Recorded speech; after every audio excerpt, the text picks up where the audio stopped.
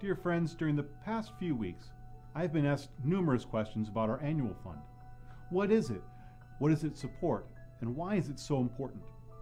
At a recent Mothers Club meeting, it was suggested that I share my answers with the St. Thomas community. Although probably the least exciting of our petitions, the annual fund is the school's largest fundraiser, impacting professional development for the faculty and staff, acting as a lifeline for Sergio, Troy, and our maintenance and grounds crews who keep St. Thomas running smoothly and looking beautiful. The annual fund supports our clubs, our fine arts program, and athletic. But most importantly, the annual fund helps support tuition assistance.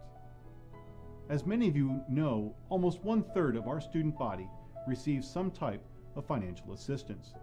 This equates to almost $1.4 million in aid every year. The annual fund helps St. Thomas bridge the gap.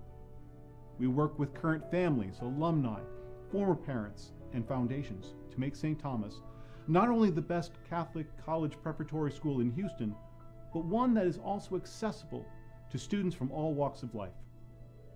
And St. Thomas, we're doing it, with students coming from over 120 zip codes. But we need your support to maintain this level of excellence. Your participation is important for many reasons. First of all, many hands lighten the load, meaning that every gift matters and contributes to our common goal. Second, when St. Thomas applies for a grant, one of the first questions often asked is about our community participation. Foundations want to know why should they give if our own community will not? In the past, we have always been able to answer with outstanding participation levels, but we need you to make this a reality. Please take a moment and consider a gift to the annual fund. Together, we can make a difference in our school and in our community. Go to give.sths.org